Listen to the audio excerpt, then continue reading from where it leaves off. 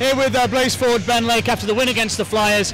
Ben, after two close games in Belfast, it couldn't have been anything but two points, could it? No, yeah. That's what we said going in the third period. We needed these points, uh, especially after the weekend we had. Um, I think in the first two periods there, we were, we were getting pretty frustrated. Couldn't find the back of the net, and then uh, finally in the third, we were able to find some goals there. Testament to both netminders. They were both their team's MVPs. Both guys were superb. Yeah, really good. Um, at the other end there, and Hawks has been playing so well for us lately. Uh, it's been a big part of any success we've had, so we're happy to have him back there. And individually, it's been a heck of a season for you so far. Uh, are you still feeling good down the stretch?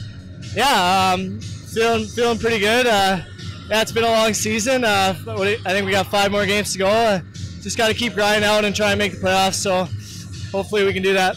Attaboy, Ben. Well done. Thanks.